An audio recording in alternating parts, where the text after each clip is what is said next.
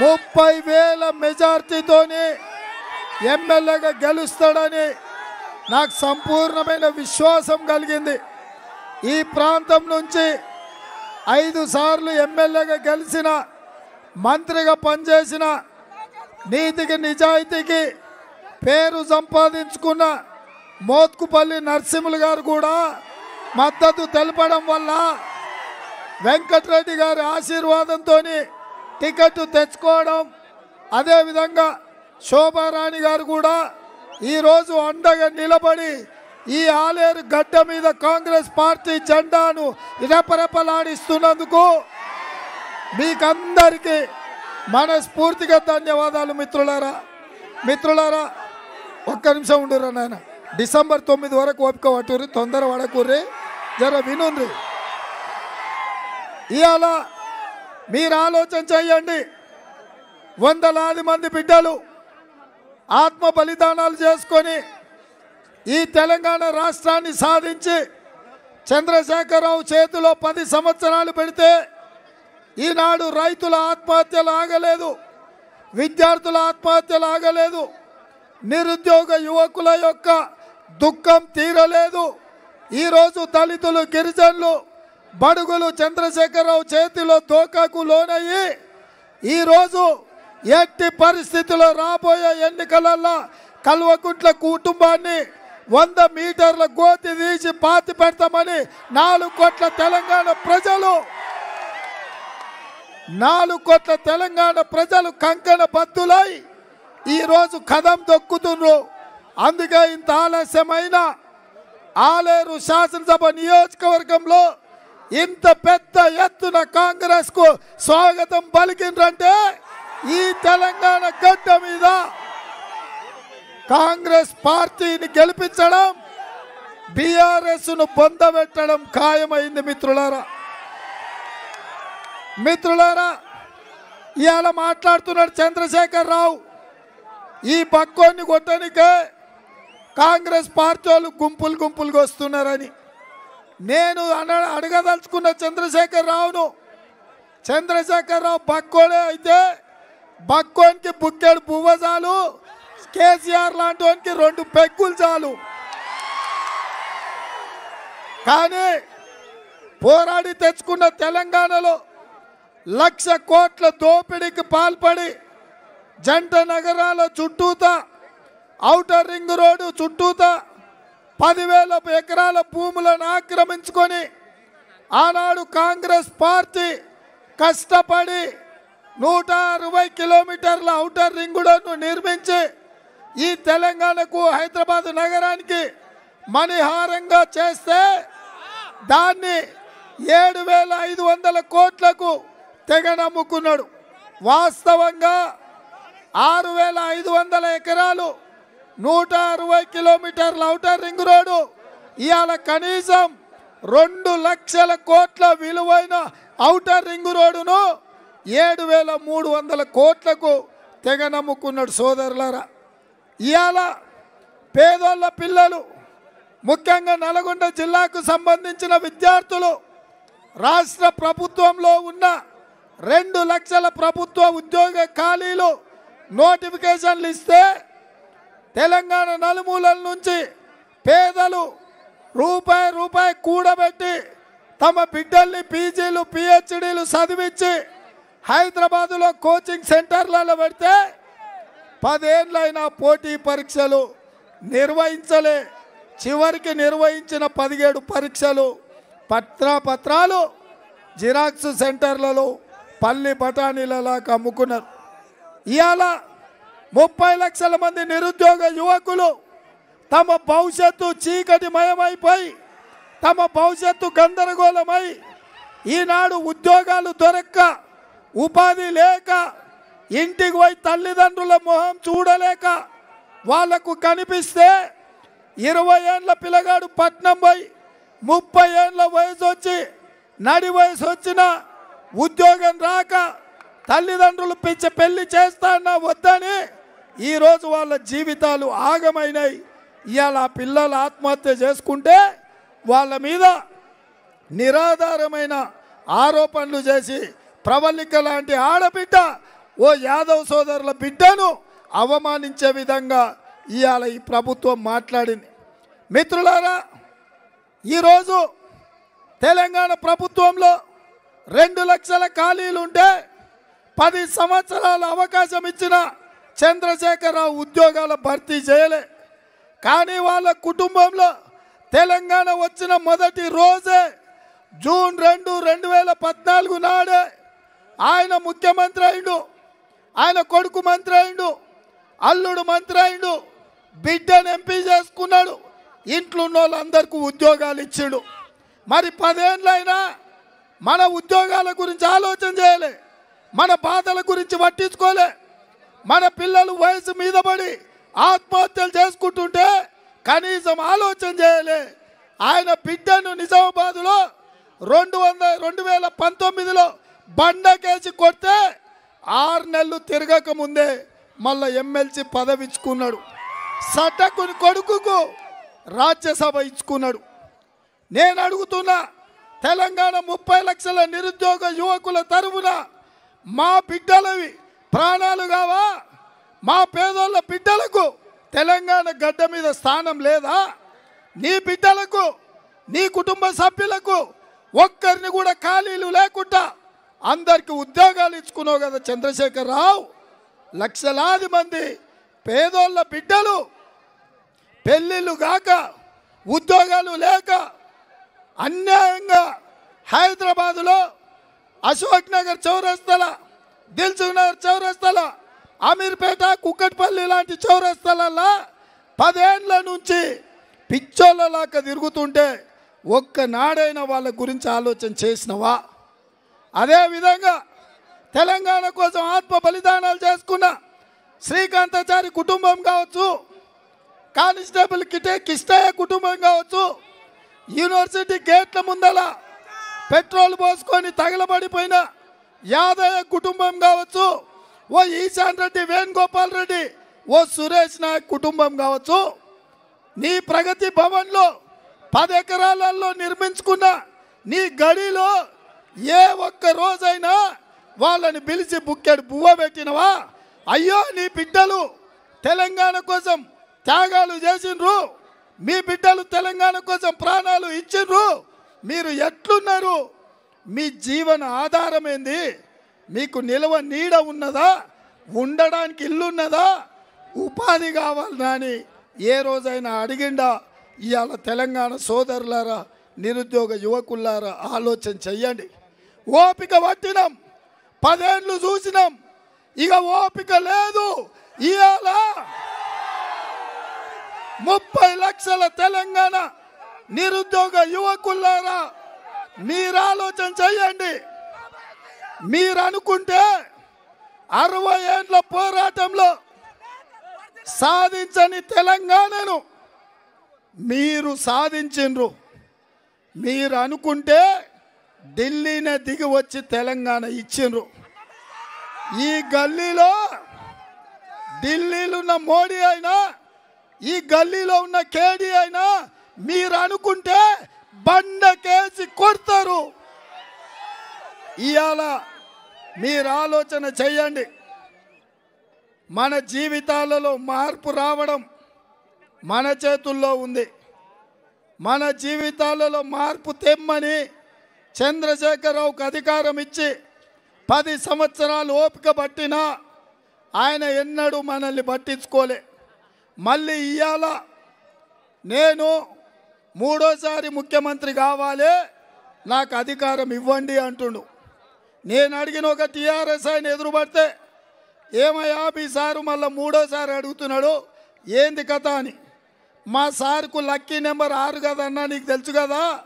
ఆయన ముఖ్యమంత్రి అయిండు కొడుకు మంత్రి అయిండు అల్లుడు మంత్రి అయిండు సడ్డకుని కొడుకు రాజ్యసభ అయిండు బిడ్డ ఎమ్మెల్సీ అయింది ఐదు మంది అయినరు. మనవాడు ఒక్కడు ఖాళీగా ఉన్నాడు వాడిని కూడా మంత్రిని చేయడానికి మూడోసారి ముఖ్యమంత్రి అడుగుతుండని అంటే నువ్వు నీ కొడుకులు నీ మనవడి గురించి ఇంత సోయి ఉంది కానీ పేదోళ్ళ బిడ్డల ఉద్యోగాల గురించి నీకింత ఆలోచన లేదు అని అంటే ఇవాళ చంద్రశేఖరరావు మనోడు గాడు చంద్రశేఖరరావు పగోడు ఈ పగోడిని పొలిమేర్లు దాటి వరకు తరమాల్సిన బాధ్యత తెలంగాణ యువకుల మీద ఉన్నది. అందుకే ఇవాళ ఇవాళ పదే పదే అంటున్నాడు ఆయన. నేను బక్కోని నన్ను కొట్టడానికి వచ్చిండ్రు అని.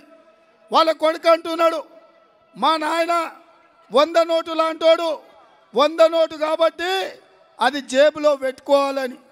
నేను అంటున్నా మా నరసింహులన్న అంటుండు అది వంద నోటు కాదు అది దొంగ నోటు. ఎవరి జేబులో ఉన్నా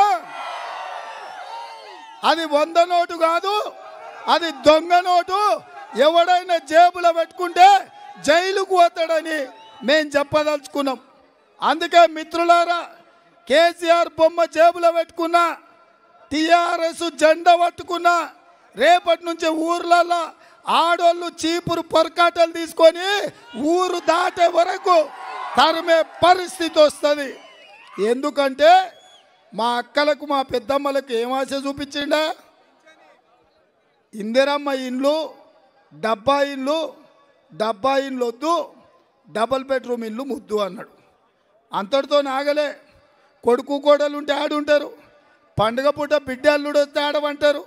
కోడి పిల్లను మేక పిల్లను ఉంటే ఆడగట్టేసుకుంటారు అందుకే పేదోళ్ళకు ఈస్ట్ మాన్ కలర్ సినిమా చూపించిండు. రంగుల ప్రపంచాన్ని మనకు చెప్పిండు. డబల్ బెడ్రూమ్ ఇండ్లు అన్నాడు.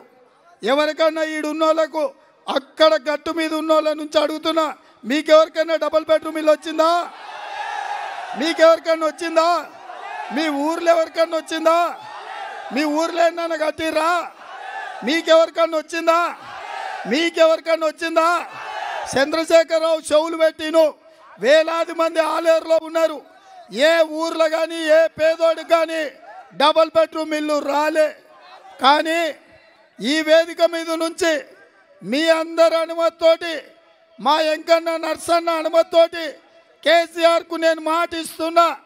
డిసెంబర్ తొమ్మిది నాడు ఇందిరమ్మ రాజ్యం ఏర్పాటు చేసి చంద్రశేఖర్ రావుకు కల్వకుంట్ల చంద్రశేఖర్ రావుకు డబల్ బెడ్రూమ్ ఇల్లు కట్టిస్తా. ఎక్కడ? చంద్రశేఖర్ రావుకు చంద్రశేఖర్ రావుకు గ్యారంటీగా మేము ముగ్గురం గ్యారంటీ ఇస్తున్నాం. డబల్ బెడ్రూమ్ ఇల్లు కట్టిస్తాం. ఎక్కడ? ఈ రాష్ట్రాన్ని లక్ష కోట్లు దోసుకున్నందుకు పదివేల ఎకరాలు ఆక్రమించుకున్నందుకు చెర్లపల్లి జైల్లో కేసీఆర్కు తప్పకుండా డబల్ బెడ్రూమ్ ఇల్లు కట్టించే బాధ్యత మేము తీసుకుంటున్నాం. ఎందుకంటే ఆ జైలుకు కొడుకు కోడలు రావాల్సిందే బిడ్డ అల్లుడు రావాల్సిందే. మరి ఈనో కాడ వాళ్ళో కాడ ఉంటే వాళ్ళ కష్టం కాబట్టి తప్పకుండా చంద్రశేఖర్ రావు నీకు డబుల్ బెడ్రూమ్ ఇల్లు చెర్లపల్లిలో కట్టించుడే నిన్ను జైల్లో నూకుడే. ఎందుకంటే మా బిడ్డల త్యాగాల పునాదుల మీద గడీలు నిర్మించుకొని రాజ్యం వెళ్తున్నావు నీ గడీలను బద్దలు కొట్టే బాధ్యత మా కాంగ్రెస్ పార్టీ కార్యకర్తలు తీసుకుంటారు. ఇదే కాకుండా ఇవాళ హైదరాబాదులో జూబ్లీ హిల్స్లో ఒక ఐఏఎస్ ఆఫీసర్ గతంలో పనిచేసి రిటైర్ అయినాక కేసీఆర్ గారు ఆయనను ప్రత్యేక సలహాదారుడి కింద పెట్టుకున్నాడు. ఇవాళ ఆయన ఇంటి మీద కాంగ్రెస్ పార్టీ నాయకులు ఉదయం నుంచి ఫిర్యాదు చేస్తే ఎన్నికల సోదా వాళ్ళు సాయంత్రం కానీ రాలేదు. ఇవాళ వందలాది మంది మన కార్యకర్తలు ఆ ఇంట్లో దాదాపుగా వెయ్యి కోట్లు ఉన్నాయి. ఈ ఎన్నికల్లో పంచడానికి ఓటుకు పదివేలు ఇవ్వడానికి అందులో నగదు డంపు పెట్టిండు. పట్టుకోవాలని మన వాళ్ళు ఫిర్యాదు చేస్తే పట్టుకోకపోతే మన వాళ్ళు మల్లు రవి గారి నాయకత్వంలో వందలాది మంది అక్కడ ధర్నాలు చేస్తుంటే లాఠీ చార్జులు చేసిండ్రు పోలీసు వాళ్ళు. ఇవాళ కేసీఆర్ ధైర్యం ఒక్కటే. మత్తులో ముంచుతా మందు పోస్తా ఓటుకు పదివేలు ఇస్తా. ఇట్లా ఆయన ఎన్నికలలో నెగ్గాలనుకుంటుండు. అందుకే నేను మా సోదరులకు తెలంగాణ ప్రజలందరికీ విజ్ఞప్తి చేస్తున్నా. అది కష్టపడ్డ సొమ్ము కాదు దుక్కి దీన్ని సంపాదించింది కాదు. ఆయన పచ్చో మిర్చో లేకపోతే జొన్నలో ఒట్లో అమ్మితే వచ్చిన నగదు కాదు. మందిని ముంచి తెలంగాణ రాష్ట్రాన్ని కొల్లగొట్టి సంపాదించిన వేల కోట్లు ఇవాళ పంచనికి వస్తాడు పదివేలు ఇస్తాడు. ఇచ్చింది తీసుకోండి. వచ్చిన దగ్గర అంగిలాగు చెక్ చేసి తెచ్చింది గుంజుకోండి. తూర్పుకు మళ్ళీ దండం పెట్టమని ముట్టి మీద ఒక్క తన్ను తన్నండి. ఇచ్చింది వద్దనకండి. వాని అయ్య జాగిరో తాత జాగిరో కాదు. అది మనల్ని ముంచిన సొమ్మే. కాబట్టి కార్యకర్తలారా వాడు ఇచ్చింది పదివేలకు ఒక్క రూపాయి తక్కువన్నా మీ లోకల్ ఎమ్మెల్యే గారు మింగినట్టే. ఇక ఈ ఊర్లో ఉంది అమ్మగారు. ఇక అమ్మగారు ఓటు ఆమెకేస్తే ఇంటాయన కూడా ఎక్స్ట్రా దొరికిండు మిమ్మల్ని దోసుకోవడానికి. యాడ భూములున్నా వెనకటికి అనుకున్నాం. పెద్దలు చెప్తే నాకు నమ్మకం ఉండేది కాదు. గుడిని గుడిలో ఉన్న లింగాన్ని మింగటోడు ఉంటాడని. మీ ఆలేరులో సునీతమ్మను వాళ్ళ భర్తను చూసిన తర్వాత యాదగిరిగుట్ట లక్ష్మీ నరసింహస్వామి చుట్టూత పేదోళ్ళ భూములు గుంజుకొని అమ్ముకొని అక్రమాలకు పాల్పడి చివరికి నరసింహస్వామిని కూడా మోసం చేసే జాతి అందుకే ఖచ్చితంగా ఇవాళ ఆలేరులో ఓడించాలి లక్ష్మీ నరసింహస్వామికి. మొక్కు చెల్లించుకోవాలి.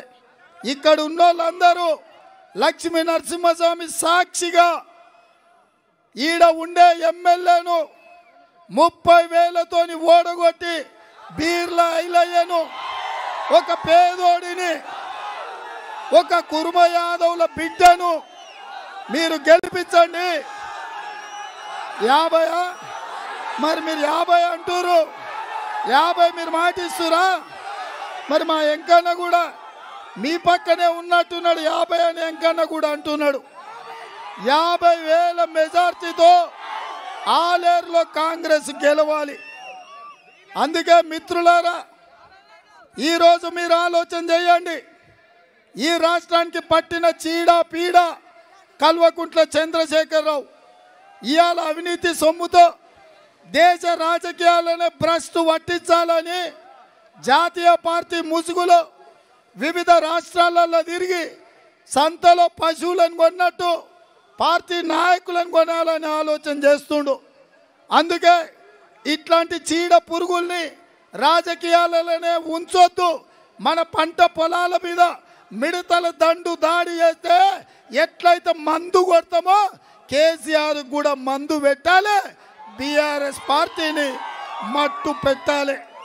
అందుకే మిత్రులారా ముప్పై తారీఖు నాడు మీరందరూ ఏయ్ ఉండరా నాయన? ఏయ్ ఏయ్ ఉండు.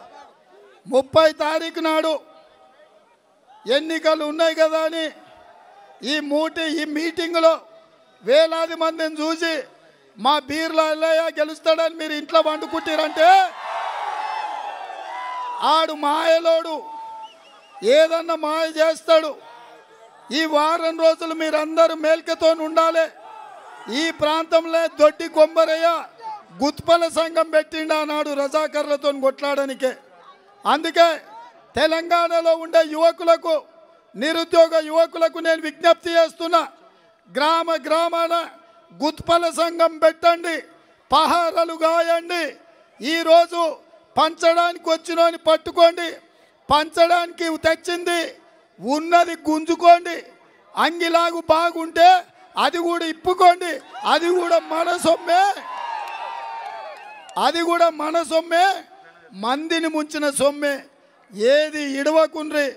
ముప్పై తారీఖు నాడు సాయంత్రం పోలింగ్ ముగిసినాక ఈవీఎంలు సీలేసి స్ట్రాంగ్ రూమ్లకు పంపించే వరకు గుత్పల సంఘం కాపలా గాయాలి. పహార పెట్టాలి. నిగురాని పెట్టాలి. అప్పుడే ఈవీఎంల గోల్మాలు కానీ ఊర్లలో చేసే దందాలు కానీ ఇవన్నీ నిలువరించే బాధ్యత ముప్పై లక్షల మంది నిరుద్యోగ యువకులదే. వాళ్ళకి ఇంకొక మాట చెప్తున్నా. గ్రామాలకు బీఆర్ఎస్ వాడు వస్తుడు. మీ నాయనమ్మ తాతల దగ్గర పోతురు ఏం పెద్ద అయినా పెద్దమ్మ నీకు పింఛన్ వస్తుందా అని అడుగుతురు వాళ్ళు వస్తుందంటే కేసీఆర్ ఇస్తుండని చెప్తుడు. నేను చెప్పదలుచుకున్న మా యువకులు అరే గాడిద కొడుక పింఛన్ గురించి కాదు అడగాల్సింది. నీ మనవడికి ఉద్యోగం వచ్చిందా అని అడగమను. అప్పుడు ఆ ముసలామె ముసలాయన చెప్పు తీసుకొని కొడతారు బీఆర్ఎస్ వాళ్ళను. మన ఇంట్లోండే నిరుద్యోగ యువకుడికి ఉద్యోగం వస్తే యాభై వేల జీతం వస్తుంది. తాతకు నాయనమ్మకు రెండు వేల పింఛనేందుకు వాడే తల్లిదండ్రులను నాయనమ్మను తాతను కాలు మీద కాలు వేసుకొని బతికించే విధంగా వాని కొలువుతోని గౌరవంగా బతుకుతాడు. మనవాడికి ఉద్యోగం ఇయ్యాడు కానీ ముసలాయనకు ముసలమ్మకు పింఛన్ ఇచ్చిన అని అంటుండు. అదే మన బిచ్చమా అని నేను అడుగుతున్నా. మనం పన్నులు కడుతున్నాం నిస్సహాయులకు ప్రభుత్వం సాయం చేయాల్సిందే. ఆ పనికి మాలినోడు ఉంటే వచ్చేది ఎంత పింఛను? ఎంతనే? ఇంతే కదా? ఇంత అంటే ఎంత? ఎంత ఇంత అంటే గట్టిగా చెప్పురి ఈ నెల కేసీఆర్ ఉంటే వచ్చేది రెండు వేలే. వచ్చే నెల కేసీఆర్ను బొంద పెడితే ఇంత ఇస్తా. ఇంత అంటే ఎంత? గట్టిగా చెప్పురి ఈ నెల కేసీఆర్ ఉంటే వచ్చే పెన్షన్ రెండు వేలే. వచ్చే నెల కేసీఆర్ను పొందబెడితే నాలుగు వేలు పేదవాళ్ళకు పెన్షన్ ఇచ్చే బాధ్యత కాంగ్రెస్ పార్టీ తీసుకుంటుంది. అదే కాకుండా సోనియమ్మ ఆడబిడ్డలను ఆదుకోవాలని ఆడబిడ్డల కోసం మహాలక్ష్మి పథకం ద్వారా సర్కారు కొలువు చేసేటోడికి ఎట్లయితే మొదటి తారీఖు నాడు జీతం వస్తుందో ఆడబిడ్డలకు కూడా ప్రతి నెల మొదటి తారీఖు నాడు రెండు వేల ఐదు వందలు వాళ్ళ ఖాతాలో నగదు వేసి ఇంటి ఖర్చుల కోసం పిల్లల చదువుల కోసం ఈరోజు సోనియమ్మ సాయం చేస్తుంది. ఇవాళ సిలిండర్ ధర మండిపోతుంది. పన్నెండు వందలు అయ్యింది. అందుకే పేదవాళ్ళకు ఐదు వందల రూపాయలకే సిలిండర్ ఇవ్వాలని ఇవాళ సోనియమ్మ నిర్ణయించింది.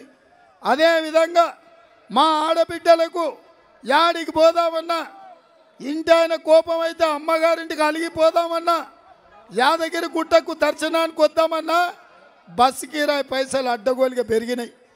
అందుకే మా ఆడబిడ్డలకి తెలంగాణ రాష్ట్రంలో ఎక్కడికన్నా ప్రయాణం చేయని బస్సులో ఉచిత ప్రయాణం ఆడబిడ్డలకి ఇచ్చే బాధ్యత కాంగ్రెస్ పార్టీ తీసుకుంది. ఇదే కాదు షాదీ ముబారక్ కళ్యాణ లక్ష్మిలో ఇవాళ లక్ష రూపాయలు వస్తున్నాయి. వచ్చే నెల నుంచి ఇందిరమ్మ రాజ్యంలో లక్ష రూపాయలతో పాటు పెళ్ళయ్యే ప్రతి ఆడబిడ్డకు తులం బంగారం ఇవ్వాలని తెలంగాణను బంగారు తెలంగాణ చెయ్యాలని ఇవాళ కాంగ్రెస్ పార్టీ నిర్ణయం తీసుకున్నది. కాబట్టి రైతు బంధు బంద్ అవుతుంది అంటున్నాడు కేసీఆర్. మతిపోయి మాట్లాడుతుండో మందేసి మాట్లాడుతుండో నాకైతే తెలియదు ఇందిరమ్మ రాజ్యంలో రైతు భరోసా పథకం కింద ప్రతి రైతుకు ప్రతి ఎకరానికి ప్రతి సంవత్సరం పదిహేను వేల రూపాయలు రైతులకిచ్చే బాధ్యత కాంగ్రెస్ పార్టీ తీసుకుంది. కౌలు రైతులకు కూడా పదిహేను వేలు ఇవ్వాలని కాంగ్రెస్ పార్టీ నిర్ణయించింది. ఇదే కాకుండా ఉపాధి హామీ కూలీలకు కూడా ప్రతి సంవత్సరం పన్నెండు వేల రూపాయలు ఇవ్వాలని ఇవాళ కాంగ్రెస్ పార్టీ నిర్ణయం తీసుకుంది. ఇదే కాకుండా ఇల్లు లేని వాడికి పెళ్ళైన వాడికి ఇందిరమ్మ ఇల్లు కట్టుకోవడానికి ఐదు లక్షల రూపాయలు ఉచితంగా ఇవ్వాలని ఇవాళ కాంగ్రెస్ పార్టీ నిర్ణయం తీసుకుంది.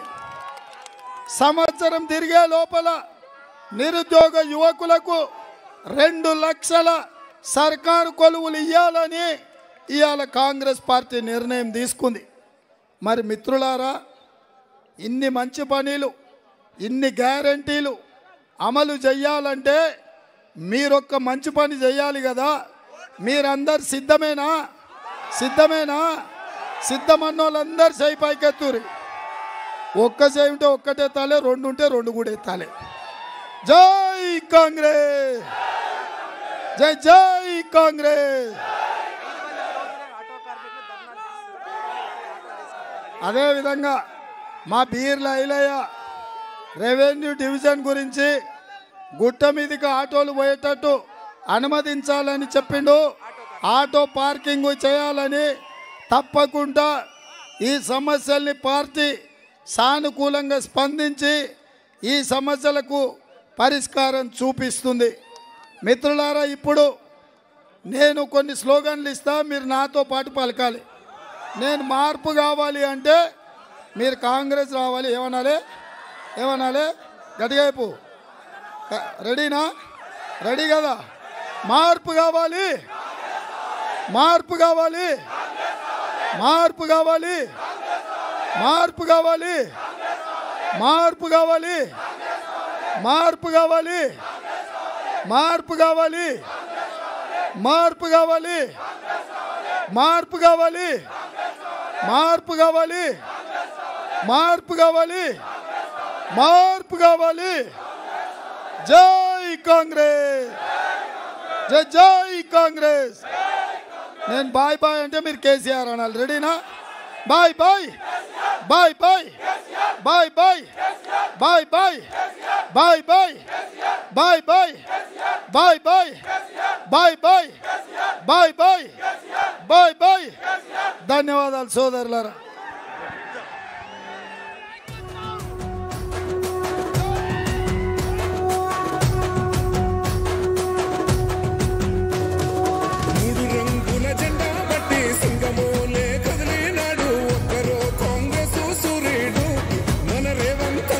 రేవంతన్న అడిగే మునగాడు. వీడు భూమిన వానైతాడు బిదసాదల ధైర్యం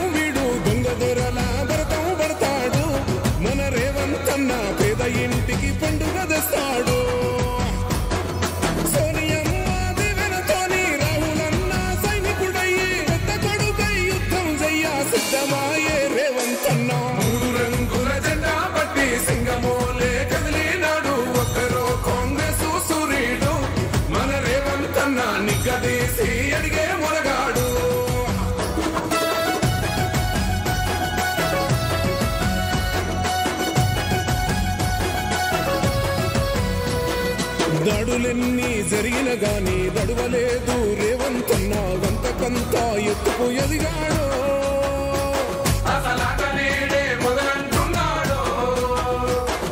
ముక్కనాడు పోలేదు ఒక్కడై కొట్లాడాడు. అందుకే పెద్ద నాయకుడయ్యాడు